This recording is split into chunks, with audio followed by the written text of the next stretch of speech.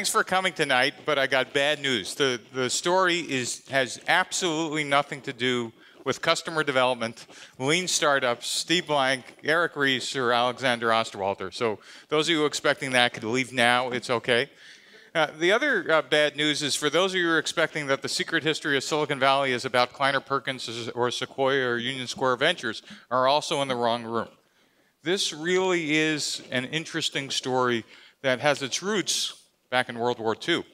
And so, the first half of the presentation, a lot of you are going to be scratching your head going, Why are we watching a war movie? I thought we were going to learn about the secret history of Silicon Valley. So, I'm just giving you some heads up for those of you who thought you were coming where history was like 1995. Uh, this goes back a lot further than that. And the reason why I uh, gave this talk is that the popular view of Silicon Valley, at least for my students at Stanford in the engineering school, when I said, Well, where does Silicon Valley come from? My students go, Oh, yeah, yeah, yeah, it was started by Mark Zuckerberg. You know, it's all about social media. Okay, all right. Uh, well, think a little harder. You know, anybody remember what came before social media? Oh, we get it, the internet. Marc Andreessen, some real old guy. I think he's bald and, you know, he's some venture capitalist. And no, no, no, before that. Oh, yeah, the guy who died. What's his name? Uh, you know, Steve Jobs. Didn't he, like, invent Silicon Valley? And I'm like, I'm feeling very old because Jobs was my age. Um, and, and I go, well, how about, you know, what computers are built for? At Stanford, there are buildings named after these guys. They're scratching their head and they go, oh, Gordon Moore and Robert Noyce, founders of Fairchild and Intel. And so I go, well, what came before that in the valley?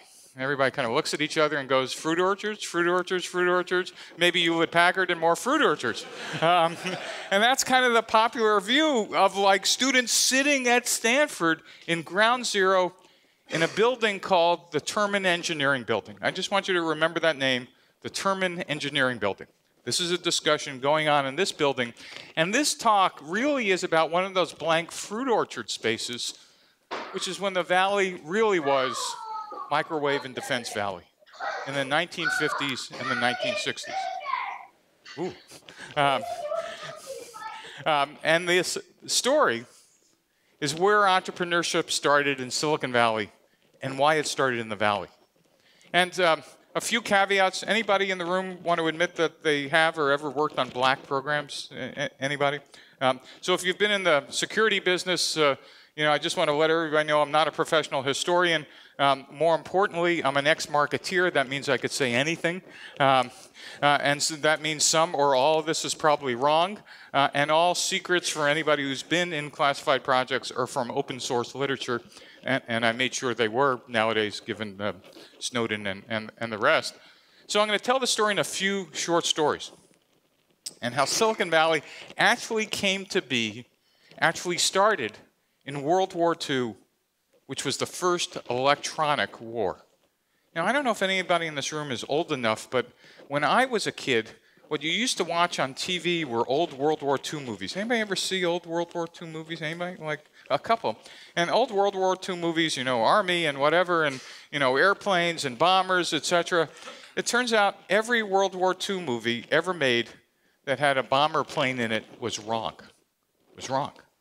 And part of the story is telling you what the filmmakers just never knew and why World War II really was the beginning of Silicon Valley. And the first part is going to be a little wonky history.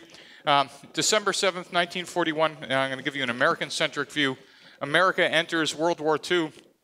Britain and France are fighting since September 1939. In Europe, the Soviets are fighting massive land and air battles uh, since they were invaded by Germany in June 1941. And the Allies, British, French, Soviet Union, are incapable of landing in Western Europe for another two years, just not strong enough to take the continent back from Germany. And so what they decide was that the priority was to win the war in Europe first, and then the Pacific. And the only way the Allies could win the war in Europe first is they decide to try to destroy Germany's warfighting capacity from the air. First air war ever. And they come up with an idea called the Strategic Bombing Campaign of Germany. And the charter of the Strategic Bombing Campaign was your primary objective will be the progressive destruction and dislocation of the German military, industrial, and economic system, and the undermining of the morale of the German people to a point where their capacity for armed resistance is fatally weakened. There was a belief in this first air war that perhaps we wouldn't even have to invade, we could just bomb Germany into submission. And the planes they used to do that was two types. It was a combined bomber offensive. The British used their bombers to bomb at night. Lancasters and Halifaxes, four engine propeller planes, unpressurized. The crew wore little oxygen masks. Planes flew at a couple hundred miles an hour, seven to 17,000 feet. And the British decided, after some experience in the beginning of the war, that the bombers weren't accurate enough and the German air defense system was so deadly during daytime that they were going to bomb at night. The bad news is, is that at night they could barely see cities.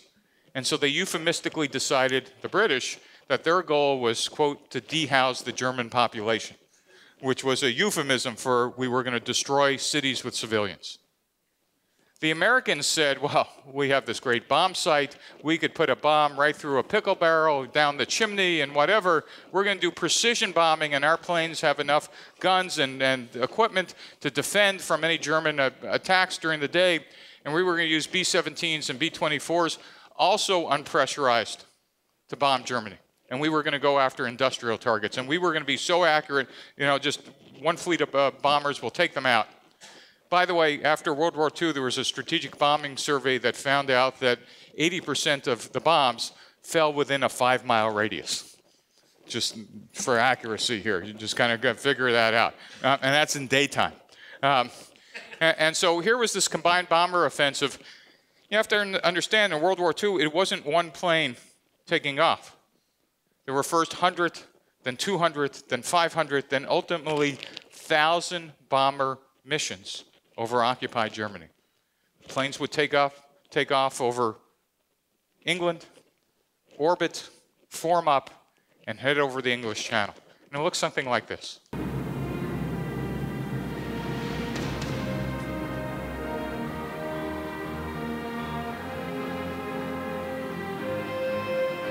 And so they're forming up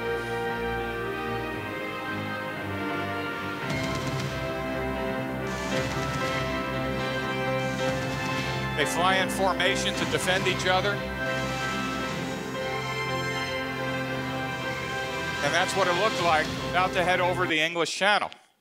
But what the British and Americans never knew as they were forming up over England is that the Germans had developed the most sophisticated air defense system the world had ever seen.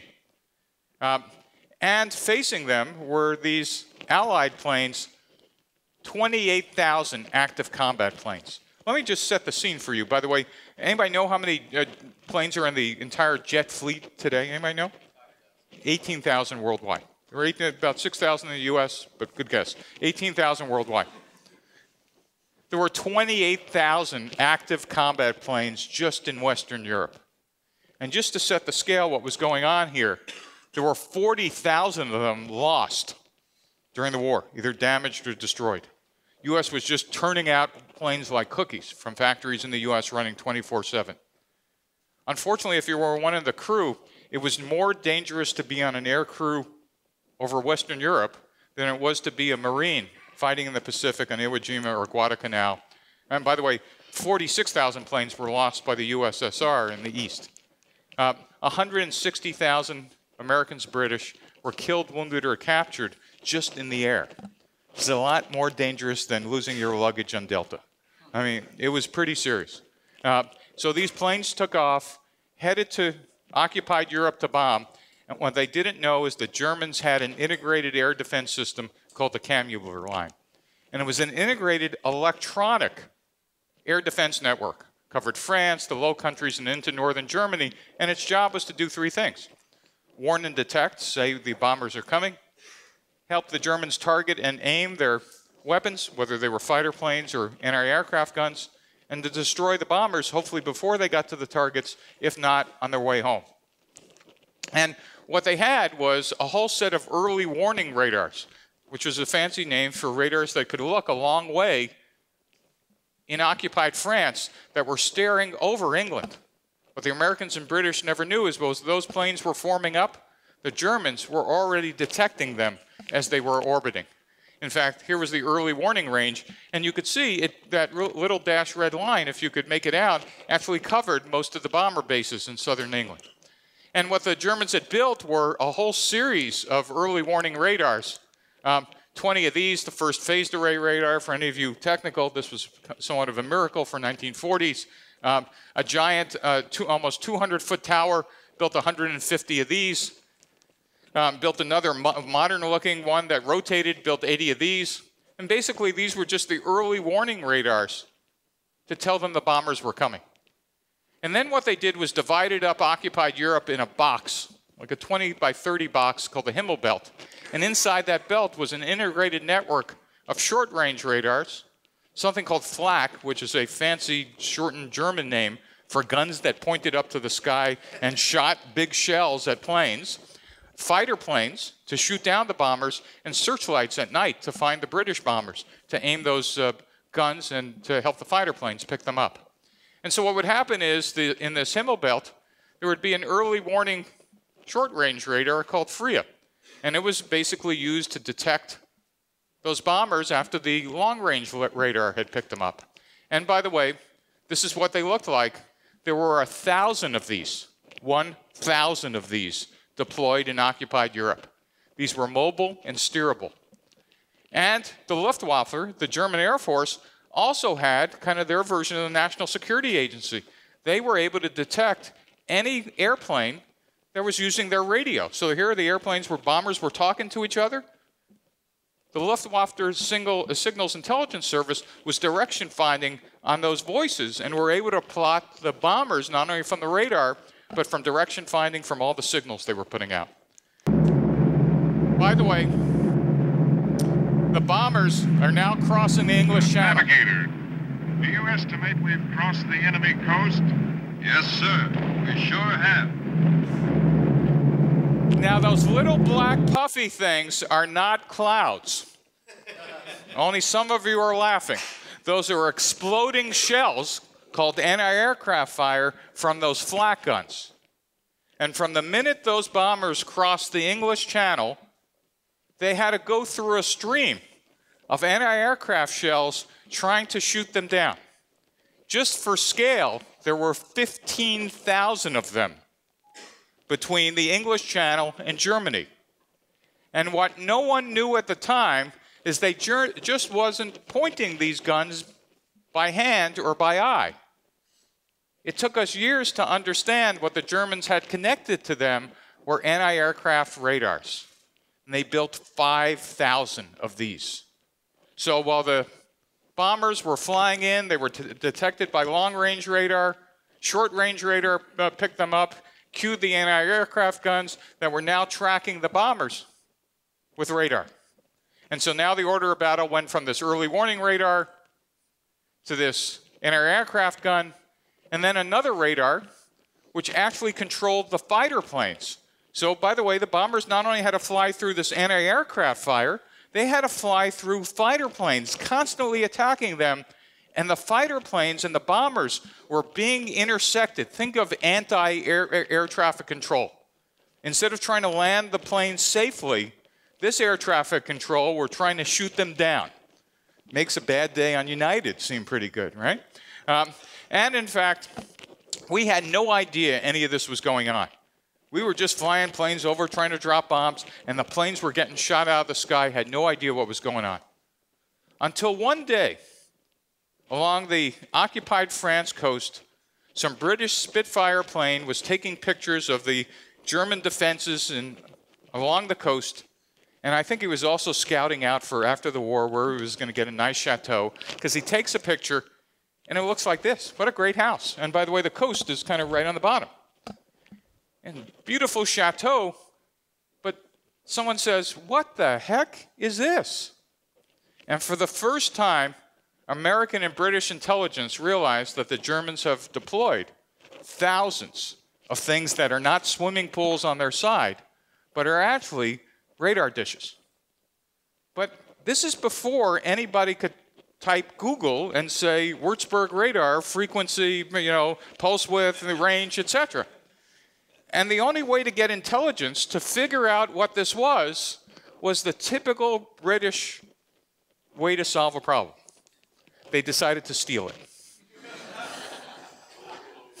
so they had a commando raid in February 1942, and they stole not only all the electronics, but they took the technicians as well to help them read the manuals. And go, hey, what does this mean? Oh, I can't. Oh, yes, okay, I'll tell you. And so, and they figured out how much the rent would be after the war in the chateau. But, but basically, for the first time, the British and Americans now had some real hard intelligence on these radars, and they freaked out because they were accurate, they were good, they were integrated into a network, um, and we started using it to test how can somehow we do something about them. By the way, these were the radars that used. Uh, we were not only having to fly against the anti-aircraft guns, but we were having to fly against German fighters. And these radars were actually talking the German fighters into the stream of bombers. And by the way, all this radar data, all of it, was being fed truly into an air traffic control system called the Himmelbelt. These were giant bunkers. Um, operators actually uh, worked in something that looked like a theater in front of a huge screen like this. And the positions of the American and German bombers were plotted with, little moving images.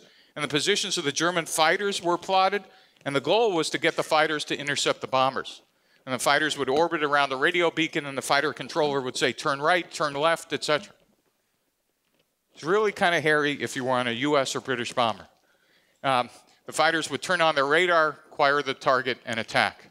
And so, one of the other things we never knew was how the German fighters at night could find the British bombers. It turns out that we never knew the German fighter planes looked like this. Anybody see something weird about this plane? They went, What the heck is this? This was the first fighter plane anybody had ever put air to air radar on. Because there was no way to see planes at pitch black at night, yet the German fighters kept figuring out exactly where they were. And what they had was what was called airborne intercept radar, and there was a, somebody who sat in the back seat they were directed to the vicinity of the bombers by ground radar, turn right, turn left. But when they got close, they would turn on their short range radar and they had control panel, little radar scope, and a back seater would steer the plane right into the bomber stream so they could use their guns to shoot them down. Now, during the daytime, the fighter, German fighter planes didn't need onboard radar. They could see the American bombers just coming by the hundreds. And if you were inside an American bomber, You've been dodging flak that is anti-aircraft fire, and then this happened.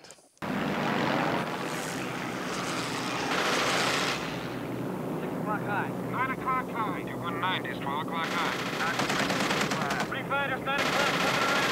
Five out of stack. I'm sorry, that's the Can't reach. Got him in my sights, Lieutenant. Four high, Daddy, see him?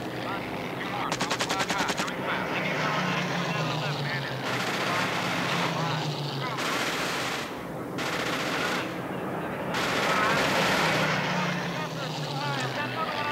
I'm on him.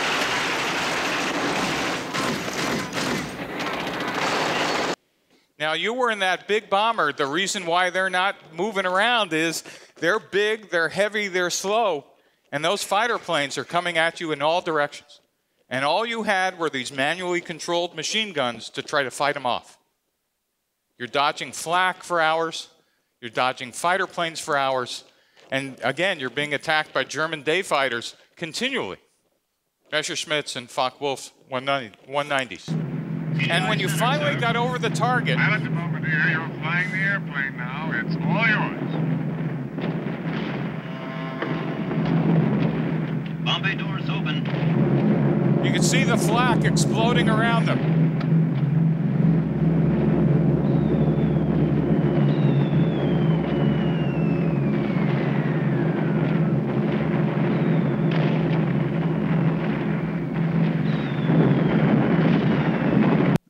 Now, in every World War II movie, it's always a clear day, right? And you always hit the target, um, which is kind of interesting because um, if anybody's ever been from Europe or been in Europe, uh, you kind of know there's not many clear days in winter over Europe, yet they bombed 24 7. 365 days. And for 50 years, no one ever asked, how did they see the ground? How did they have any idea, like, which direction they were heading?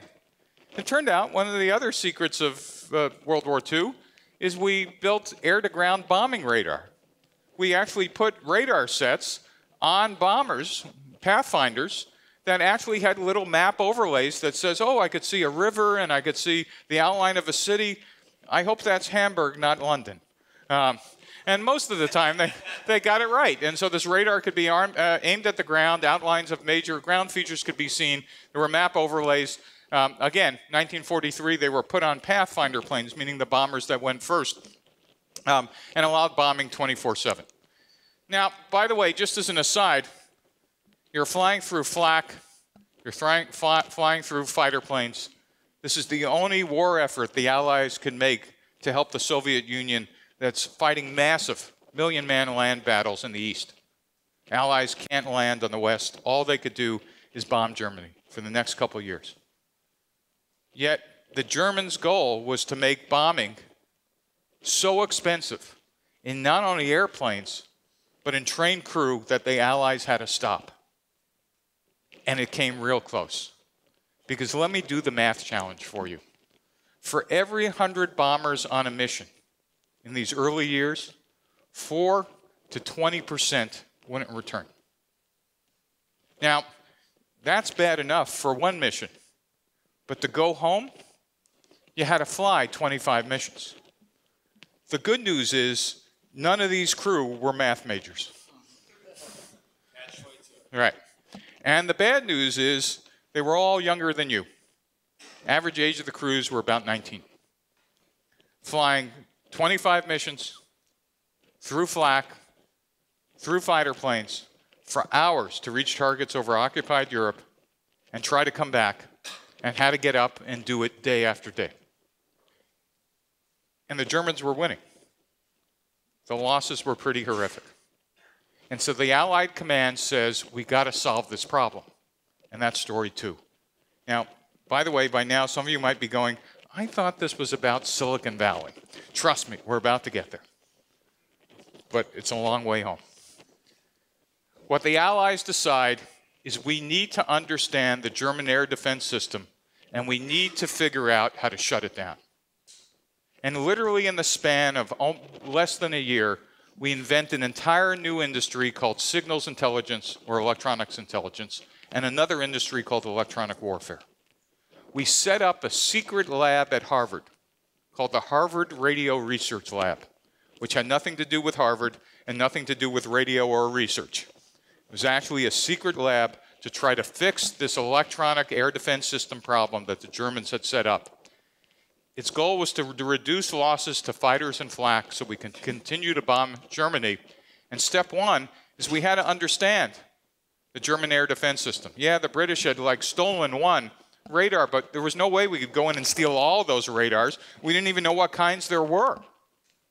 And so we needed to figure out how to record these signals and analyze them and then build some way to shut them down from the air, to jam them, to confuse them.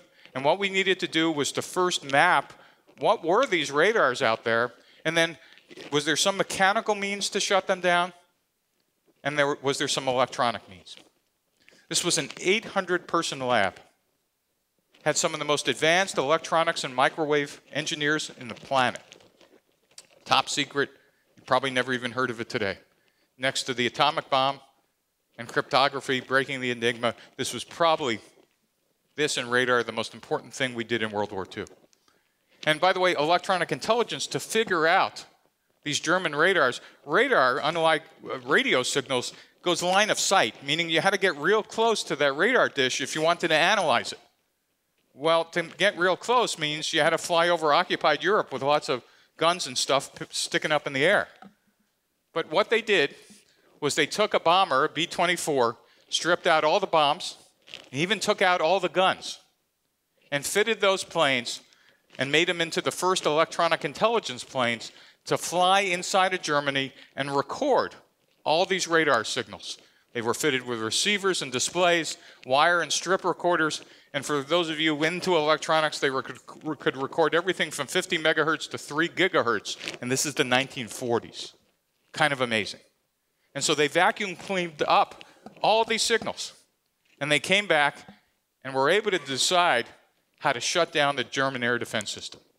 And they used this to map, by the way, all the radar coverage. This happens to be the actual map, top, top, top secret, of the Japanese radar coverage around the home islands that was hand drawn in 1943.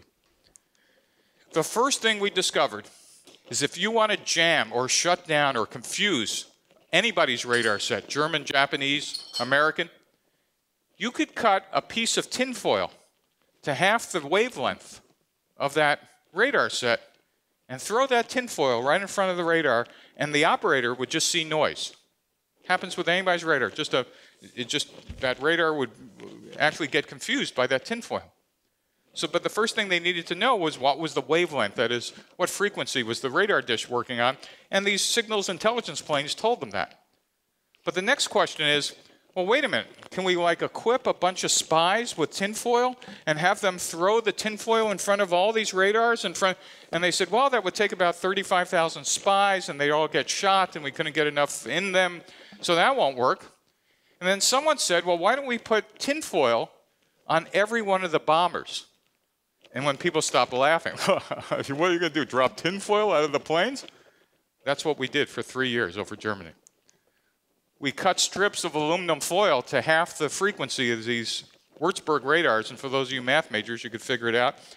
Frequency was 540 megahertz. Turns out you cut aluminum foil to about 10 inches. Each plane tossed out 46,000 packets. Now remember, these are unpressurized planes. So the lowest ranking crewman strapped himself in. They opened the door as the bomber stream is getting near the target where the radars are, they said, okay, start tossing out the tinfoil. We did. The first time this was ever used, and this is where it's both funny and sad, was the British tried it for the first time in July in 1943 over a city called Hamburg. And for the first time, British lost zero planes, completely shut down the entire German air defense system. They had no idea what they were. All the radars went to noise. They couldn't figure out where the planes were. And for you know, those of you know history, the British burned Hamburg to the ground, killed 100,000 people, shut down the German air defense system. The other somewhat funny side effect is it used three quarters of all the aluminum foil in the United States in World War II. And when they were having aluminum foil drives, no one could understand how they were able to make airplanes out of aluminum foil. What were they doing? Was there some secret way to do this? It turns out that we were dropping chaff. And in fact, if you talk to somebody of the right age who lived through World War II in Germany and Denmark and Norway, et cetera, they would say, yeah, it rained aluminum foil for years. Um, and their stuff was all over the ground. But that was a mechanical way to do this. It turns out the connection with Silicon Valley is we soon discovered that we could make these microwave transmitters and put them on all the planes to systematically shut down all the German radars.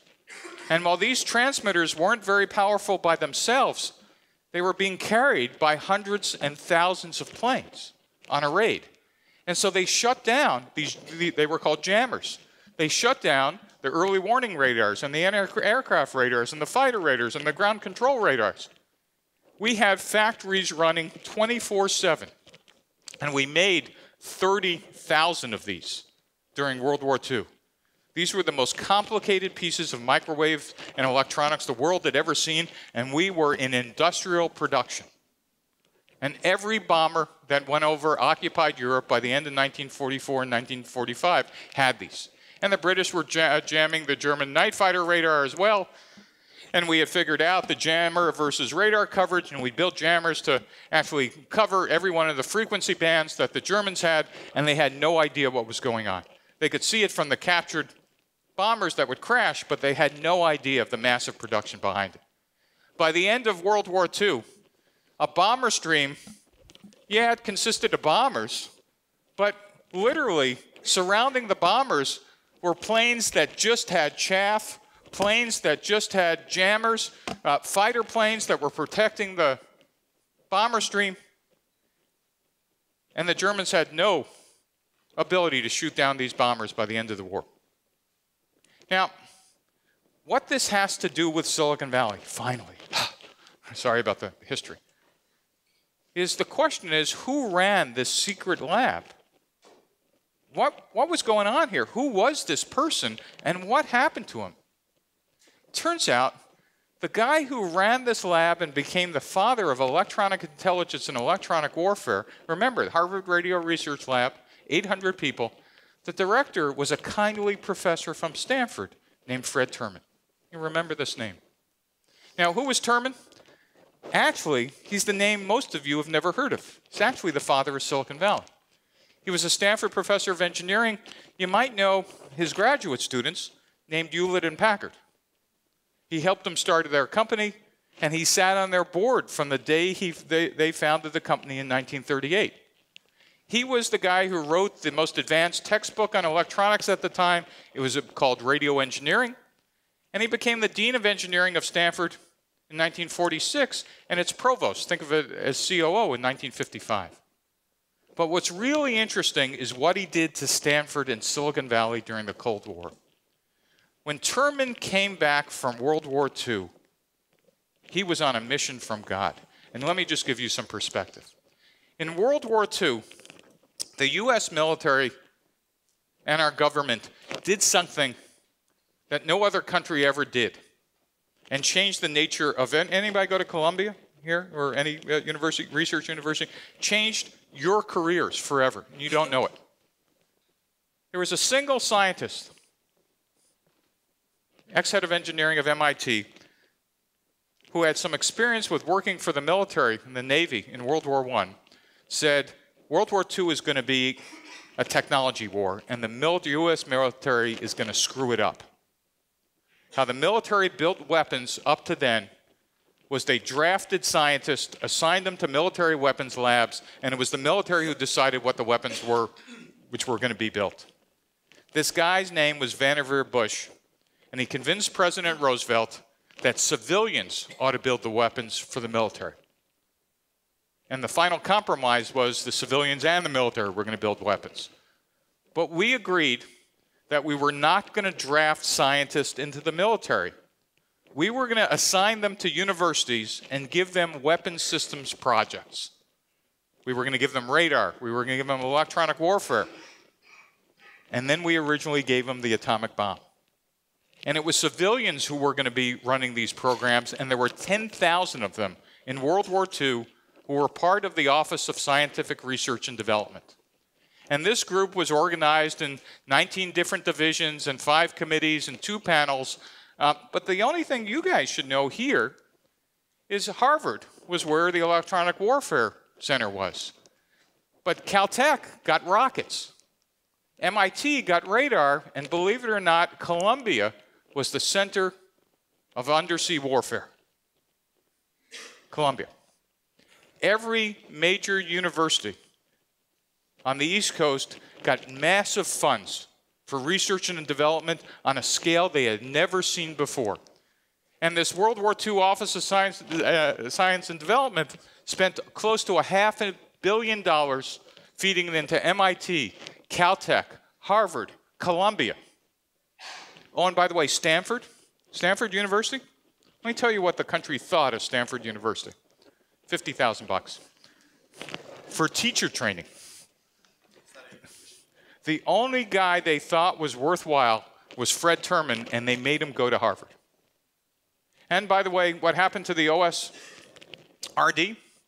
It became the National Science Foundation, the Atomic Energy Commission, the Department of Defense, and the NIH all spun out of this World War II effort.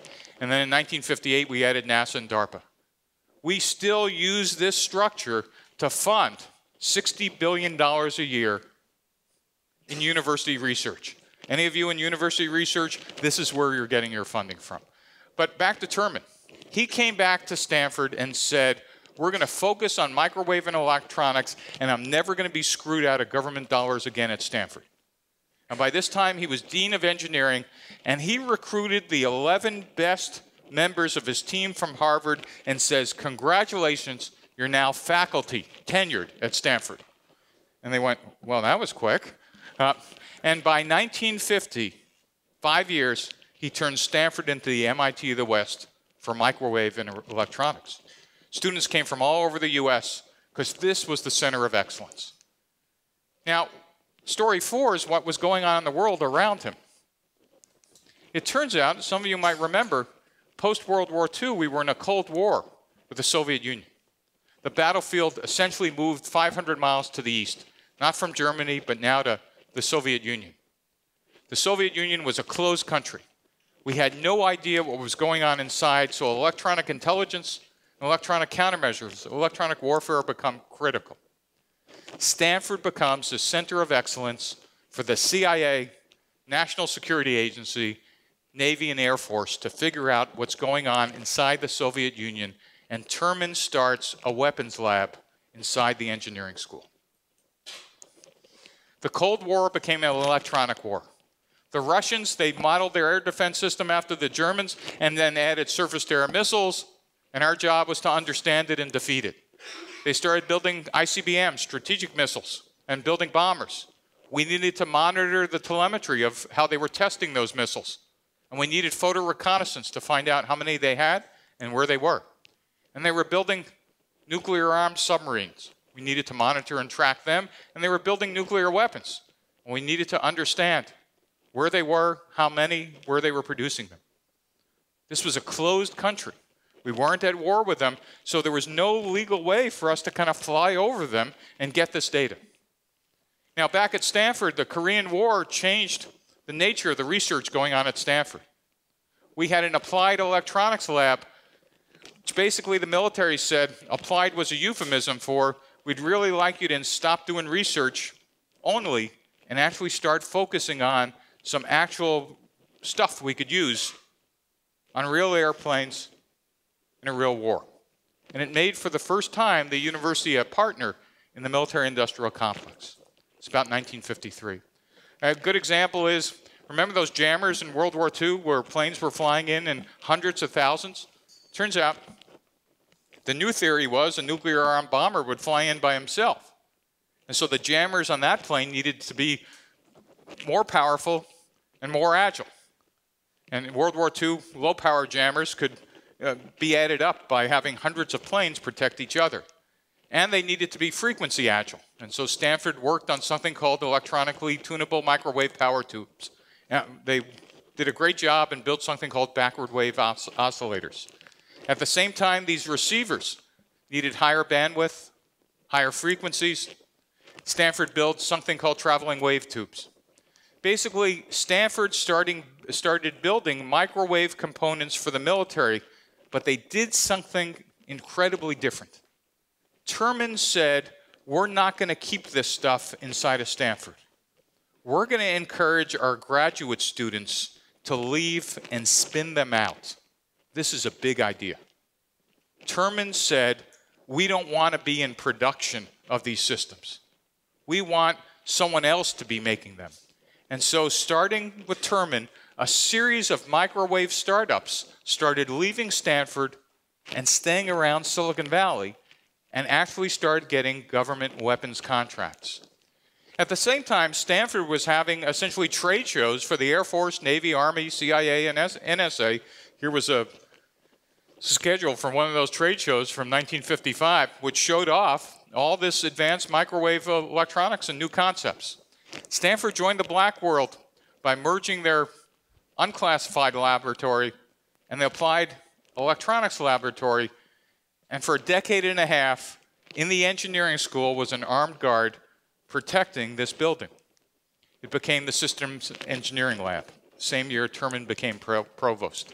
And the engineering lab now started focusing on practical applications of real intelligence problems for the Air Force, CIA, NSA, etc and combined all these components into real systems. And they used the PhD students and the engineering school staff to work on these weapon systems. And Terman recreates essentially the Harvard Radio Research Lab in the middle of Stanford University. In fact, by the mid 1960s, three quarters of all the graduate theses in this department are classified, just for scale. So, some of the problems, the practical problems, were how do we find out the radars inside the Soviet Union?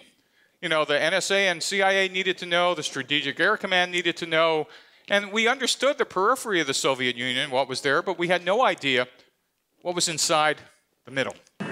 And the reason we needed to know that was this. Well, boys, we got three engines out. We got more holes in us than a horse trader's mule. The radio is gone and we're leaking fuel. And if we was flying any lower, why, we need sleigh bells on this thing. But we got one little budget on them rooskies. This height, why, they might harpoon us, but they dang sure ain't gonna spot us on no radar screen. Yeah. So, some of you might recognize that from Dr. Strangelove, our primary weapon systems in the mid 1950s were B 52 bombers whose job it was was to penetrate the Soviet Union, fly around their radars, and attack targets. The problem is, we really didn't know much about both the interior, and we kind of knew something about the exterior, uh, but it, it wasn't quite clear. And by the way, the way we knew about the exterior is we developed a fleet of electronic intelligence planes, and I mean a fleet. Um, hundreds of planes flew, flew around the Soviet Union on a daily basis, measured the Soviet air defense system, and actually told us that their low altitude coverage was good, their high altitude coverage was actually great, and continually tracked through communications intelligence all the dispositions of the Soviet fighters and their aircraft guns, etc. Um, the problem with these electronic intelligence planes is you had to get close. What most people don't know is during the 1950s and 60s, we were in a shooting war with the Soviet Union. We lost 23 electronic intelligence planes around the periphery. 250 Navy and Air Force airmen were shot down. And this was a cat and mouse game. In fact, this list, if you could make out the pilot and weapon, is actually from the old Soviet Union with the name of the pilot, the aircraft, and the weapon they used to shoot down the American planes. Um, Post uh, Cuban Missile Crisis, we kind of decided this was probably a very bad game of chicken, and we kind of dialed it back. Uh, but this was an active game going on. So Stanford was doing basic research in electronics. Stanford and SRI uh, were doing applied research, and microwaves and systems companies in Silicon Valley were producing equipment for the military. And the systems now started to get really interesting. We were not only making components, we were spinning out entire companies that were making integrated systems. Um, GE Microwave, Applied the Technology, ESL, Argo Systems, Advent. Why this is important is Fred Terman changed the rules in Silicon Valley because the valley as we know it starts with this guy. He basically said Stanford's going to be an outward facing university. And if you don't understand the, the phrase outward facing, you ought to understand that if you went into Stanford in the 1950s and said, I want to start a company, Fred Terman would shake your hand, say, take whatever you want out of the lab and do good for your country. Try that in any other university, not in the 50s or 60s or 70s. Try that today in a good number of universities worldwide. He encouraged graduate students to start the companies. He encouraged professors to consult for companies completely unheard of. Not just large companies, but startups. And Terman and other professors actually take board seats on these startups. And technology and IP transfer, it was a handshake. Um, getting out in the real world was good for your academic career starting in the 1950s. Unbelievable. Now, just to put this in perspective, what Stanford had and Silicon Valley's first wave is for infrastructure, it had great research universities, it had a culture of risk taking, the entrepreneurial free flow of people and information. Didn't have much management tools, but the motivation was crisis. And the ecosystem was entrepreneurs and weapons finance. There was, there was no venture capital. How these companies got financed was Terman introduced them to weapon systems manufacturers. Hey, you want to buy the latest microwave, whatever? Here, talk to Hughes Aircraft or talk to TRW. And so it was weapons finance that drove Silicon Valley from the 50s to the 60s. I'll give you one or two more stories and we'll wrap this up. Some of these interesting things going on in the late 50s and early 60s involve spy planes. Anybody recognize this plane? Um, called the officially called the Oxcart A-12, which is a CIA reconnaissance plane. Publicly, was the, the two-seater version was known as the SR-71, and the CIA was kind of worried about can we actually fly this at 85,000 feet or 90,000 feet over the Soviet Union? Would they be able to see it and track it at Mach 3? Um, the Soviet air defense system was like evolving faster than we could build um, spy planes. And so the Electronic Intelligence Office in the CIA said, what's the environment look like inside the Soviet Union? And what the Soviets had built were these advanced long range radars called Tall Kings. They could see of almost 400 miles but they were located inside the Soviet Union, not just on the outside, but the inside. And we wanted to know where these radars were so these planes could avoid them. But without flying over the Soviet Union, which we did a couple times, but it would have been real dangerous to kind of hunt around and look for these, we said, is there any way to find these radars? Where are they located? How many are there? Now, you got to remember, radar goes straight out into space. Well, someone said, hey, what's in space over the Soviet Union? Now, this is before satellites. And someone, well, there's nothing over the Soviet Union, there's just space. When someone said, well, if there was something over the Soviet Union, wouldn't the radar signals kind of bounce off and we could measure them? But someone said, yeah, yeah, yeah, that's true, but there's just space out there. Don't you get it? It's space. The radar is going straight out into space. And someone else said, no, no, no isn't the moon over the Soviet Union at least like once a month? And someone went, well, yeah, the moon's over there. Isn't some of that radar signal going to hit the moon and maybe bounce off and come back to Earth? And they went, yeah, but you'd need these giant dishes to pick up that faint signal. And someone said, well, why don't we point some dishes at the moon? They said, you don't understand. These would have to be big radio dishes. I mean, giant radio dishes. So in the late 1950s, the US becomes the most interested country in the world in radio astronomy. And we fund every radio dish you've ever heard of. Jodrell Bank, Sugar Grove, Arecibo were all covered for finding tall kings. Stanford dish, anybody ever been to Stanford, walked the dish? All those were funded through cover agencies and the entire radio, anybody in radio astronomy? Turns out the entire industry was funded through a cover of the CIA because we were actually trying to find the tall king radars. And we actually did. As the moon moved over the Soviet Union, um, once a month, somebody would move into a secret room in these radio dishes, kind of plot the locations, and we were able to figure out where all the tall kings were. And every time you hike at Stanford, in the back, there's the Stanford dish. Um, and uh, that's how we got it. The other one is in the early 1960s, we decided to build this giant balloon called Echo. Does anybody remember Echo? Um, it was a giant balloon we were going to uh, put into space, and it was the cover was radio relay tests. It was another electronic intelligence thing. We were going to put these balloons, and so we were going to pick up radio signals over the Soviet Union. Originally, we were going to be launched from Vandenberg, but by the time it got its act together, we actually had satellites up. And the best story was there was a project that was going to put 400 million three quarter inch pieces of copper wire in orbit around the Earth. And again, its cover story was oh, we're going to do some radio relay tests. And what they really wanted to do was put a permanent ring around the Soviet Union so we could pick up all the reflections from the Soviet radar. Luckily, common sense happened. And we actually started flying spy satellites rather than copper wire. Now, what does this have to do with Silicon Valley, really? Turns out in 1956, it all changed for the Valley. Both Silicon and the Secret Valley really happened in this year. In 1956, an aircraft manufacturer from Burbank, California, won a contract to build something called the Submarine Launched Ballistic Missile. Something called the Polaris, and then eventually the Poseidon and Trident. And there was no room in Southern California, so they came to a place that was just known as the Valley of Heart's Delight. Was filled with fruit orchards. It was Sunnyvale, California. And Lockheed sets up Lockheed Missiles and Space Division and builds the Polaris missile submarine launched ballistic missile on an assembly line in Sunnyvale. Built by Lockheed. Lockheed goes from zero to 20,000 employees in Sunnyvale, California in four years. Four years later, they have 35,000 employees. Just for scale, Hewlett Packard has 3,000.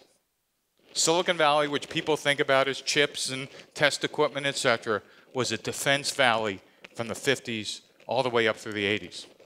By the way, Lockheed was at least publicly admitting they were building these submarine launched ballistic missiles, but what no one else ever knew is they were also building all our spy satellites Corona, Samos, Midas, Vela, and advanced other satellites on secret assembly lines in a town north of Sunnyvale called East Palo Alto.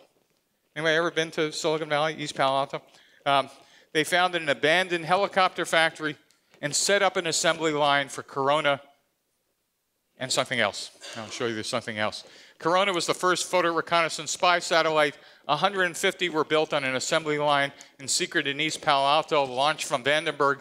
And what's really cool is that the satellite ejected film, and an airplane flew around as that capsule was floating down on a parachute, snagged it midair, opened it up, sent the film for development.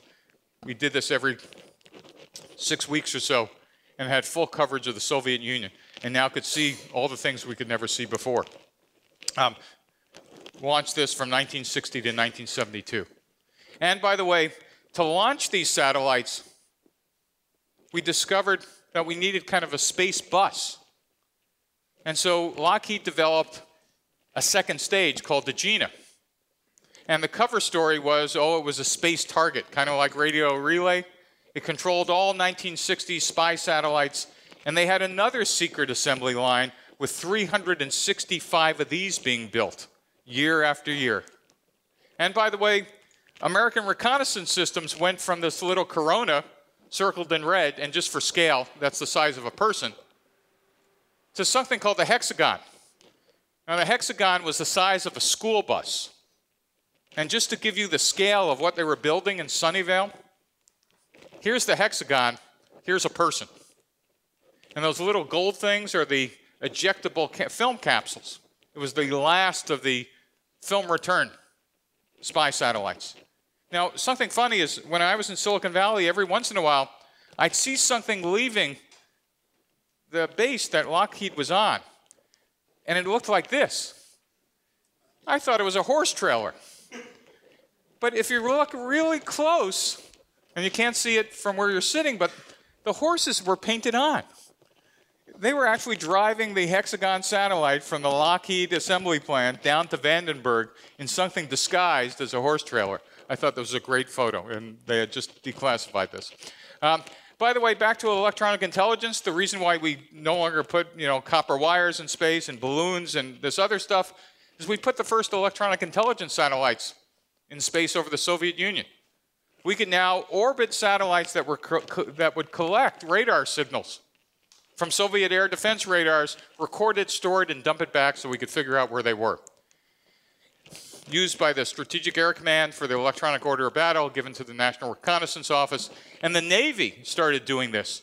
In World War II, one of the biggest problems of the U.S. Navy was where is the enemy fleet? You would fly airplanes, try to figure it out. Are they over here? Are they over there?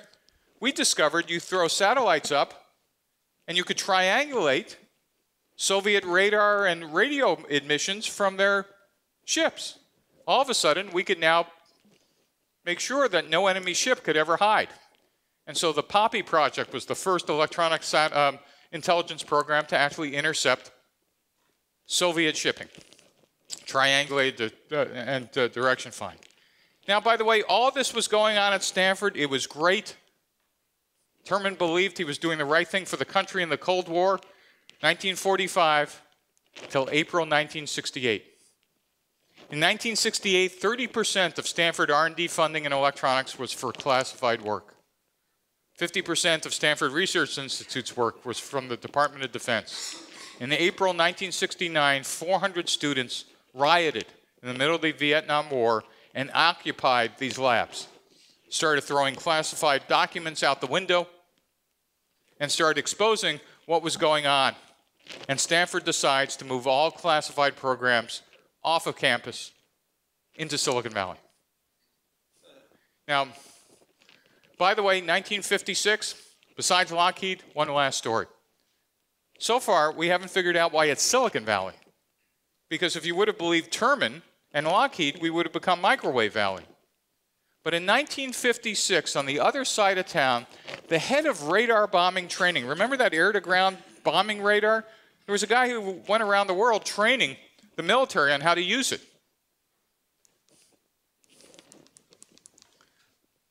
The Valley moves into integrated circuits. And the question was who did this? What happened in 1956? So this guy was first the director of anti-submarine warfare operations group at Columbia, here in New York. And then he became head of radar bombing training for the Air Force. Do I know who he is? Then he became deputy director of R&D for weapons systems evaluation in the Defense Department. Still don't recognize him?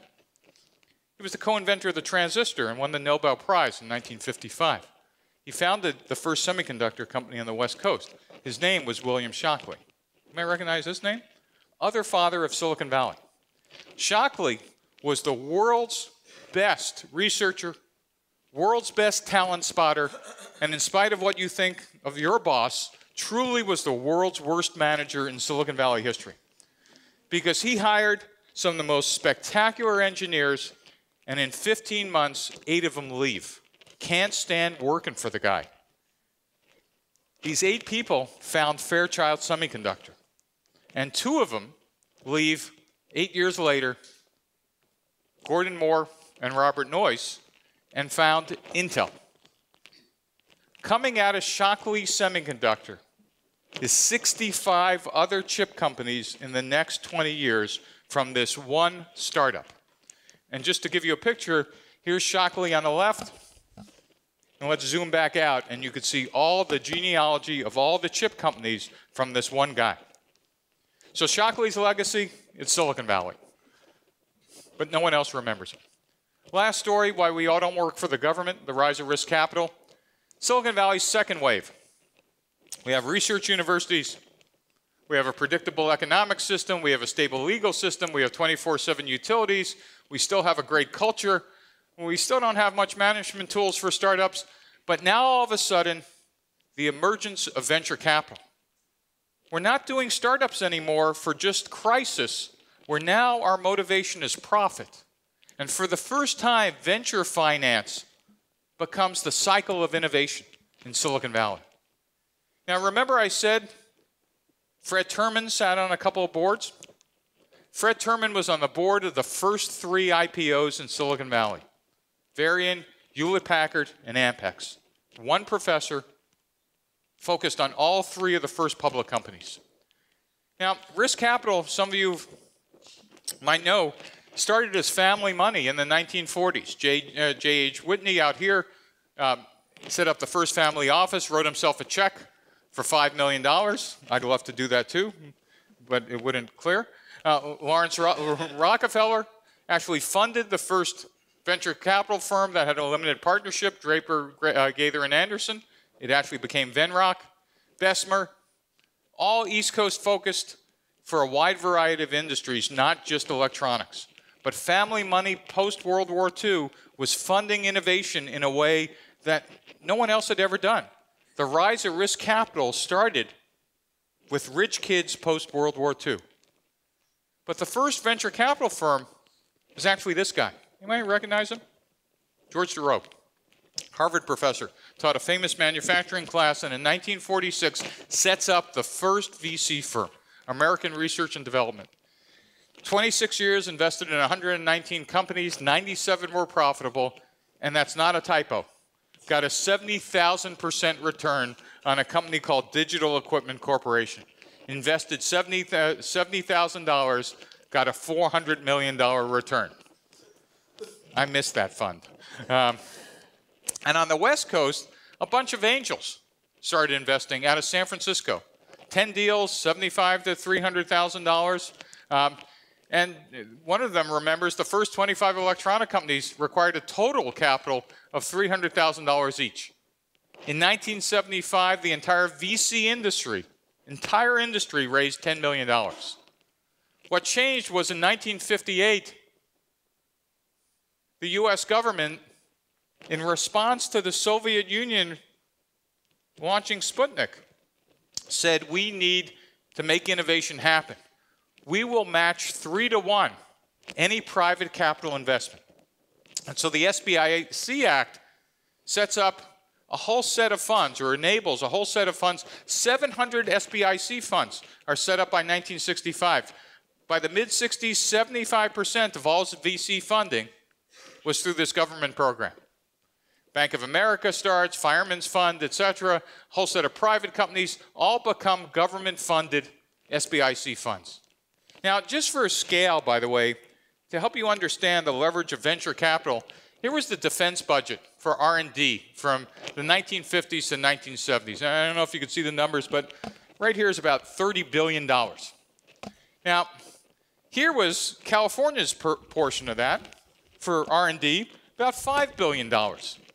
And by the way, here's how much Silicon Valley, not LA, not anybody else, got for defense R&D. Looks like to me, I don't know, maybe a billion dollars at best. Now, you can't see this here, but this is Silicon Valley venture capital. Notice the scale? So let's zoom in a bit. It's still almost negligible.